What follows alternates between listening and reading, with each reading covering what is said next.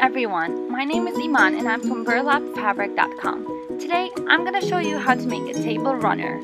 Stay tuned to the end of the video to see how you can create different designs with the same materials. So let's get started.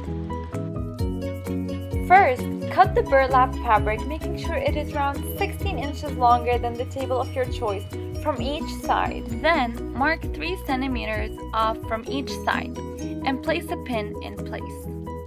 Place two long pieces of lace ribbon on the 3 centimeters mark, which will result in a gap between the two pieces.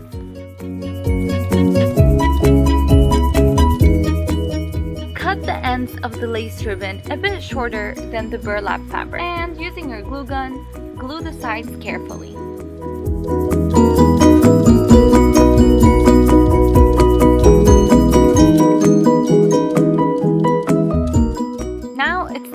Use the light blue jute twine. Glue the jute twine carefully on the sides of the lace ribbon.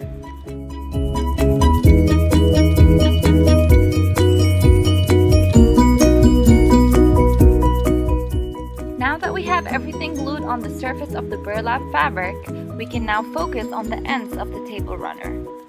Make sure there aren't any glue leftovers on top of the fabric. Take off around 5 to 6 pieces of threads from the burlap fabric sides and edges. Then, with one of the threads from the burlap fabric, you're going to tie around the ends of the table runner. Then with the glue gun, glue the burlap flower on top. And there you have it, a beautiful table runner.